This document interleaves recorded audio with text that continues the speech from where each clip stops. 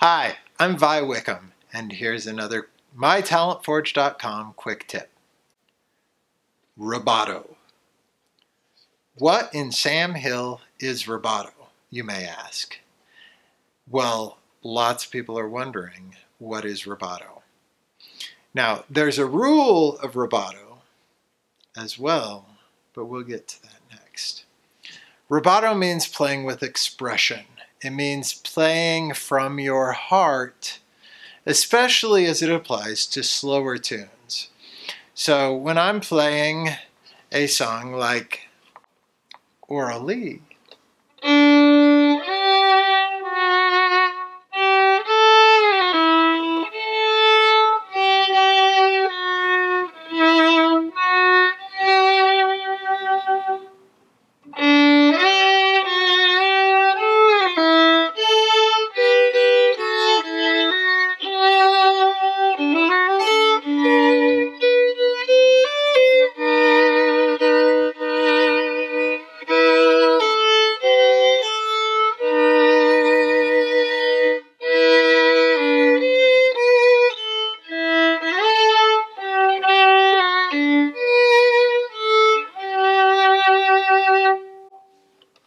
I don't play it exactly the same every time.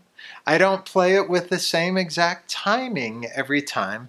I let my heart lead and express the melody as I would sing it. So rubato is something that you would use as, as if you were singing the song through your instrument.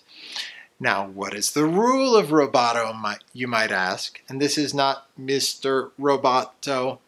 This is not robato, it's rubato. I believe it's an Italian word. Um, but it should be singfully, as you would sing it.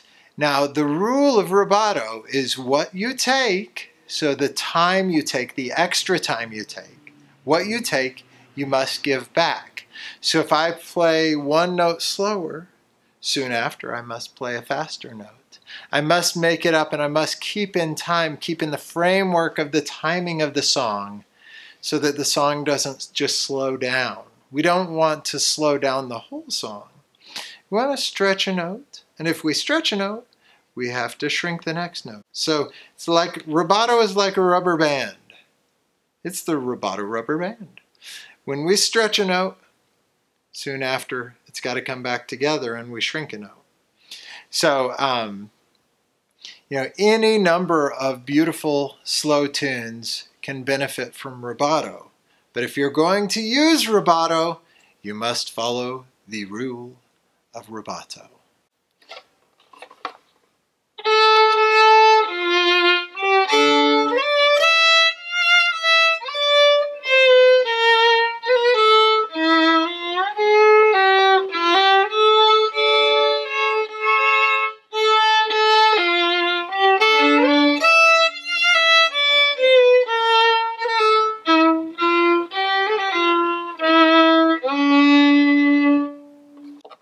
And that's the rule of rubato.